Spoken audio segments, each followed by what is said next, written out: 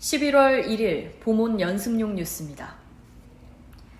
최근 산모 수는 줄고 있지만 산모 1000명당 산후 우울증을 진단받은 환자는 50% 넘게 증가한 것으로 나타났습니다. 국회 보건복지위원회 소속 신현영 더불어민주당 의원이 국민건강보험공단으로부터 받은 자료를 보면 산모 1000명당 출산 후 1년 이내 우울증을 진단받은 산후 우울증 환자는 2018년 20.6명에서 지난해 31.9명으로 54.9% 증가했습니다.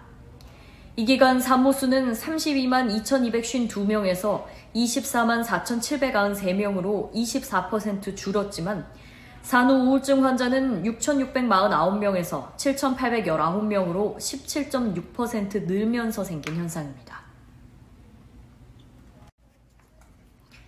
11월 2일 보문 연습용 뉴스입니다. 서울 북부지법 형사 1단독 재판부는 지난 8월 여자친구를 죽이겠다며 13차례 112와 119에 허위 신고를 한 혐의로 기소된 45살 최모 씨에게 징역 1년을 선고했습니다. 최 씨는 경찰관이 현장에 도착하지 않자 다시 전화를 걸어 출동이 느리다, 사람 죽이고도 남겠다는 취지로 말한 걸로 조사됐고 김 씨의 신고에 따라 경찰은 순찰차 13대와 29명을, 소방당국은 구급차 등 차량 석대와 13명을 출동시켰습니다. 재판부는 경찰 등의 업무가 방해됐고 공권력이 불필요하게 투입돼 일반 시민들이 긴급 상황에서 신속하고 적절한 조치를 받을 권리가 침해됐다고 지적했습니다.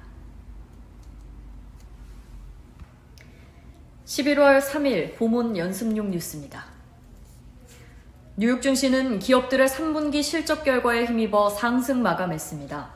뉴욕 증권거래소에서 다우존스 30 산업평균 지수는 전장보다 204.97포인트 오른 33,141.38로 거래를 마쳤습니다. S&P 500 지수는 전장보다 30.64포인트, 나스닥 지수는 121.55포인트 상승했습니다.